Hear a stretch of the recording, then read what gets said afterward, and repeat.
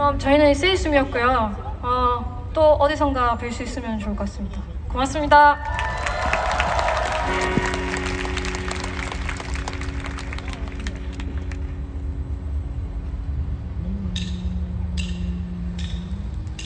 우리